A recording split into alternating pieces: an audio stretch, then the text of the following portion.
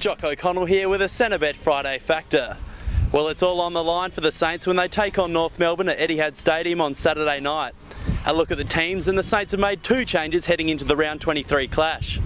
Key tools Justin Koschitzke and Zach Dawson return to the Saints side, while Steven Baker and Tom Lynch have been omitted. The Kangaroos have made no changes following their round 22 victory over Fremantle.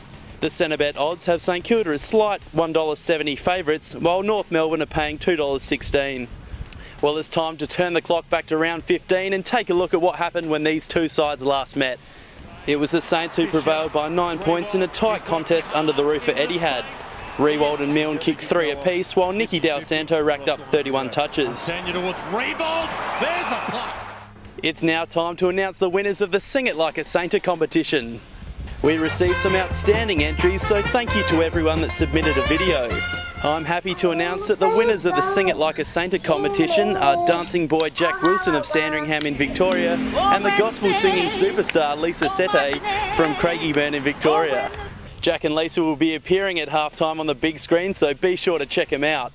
Now don't be alarmed if you didn't win because all entries will take home one of these signed St Kilda caps. Thanks for tuning in. All the best to Jarryn Geary in his 50th game on the weekend. Let's get along and cheer on the Saints. This is Jock O'Connell for Saints TV.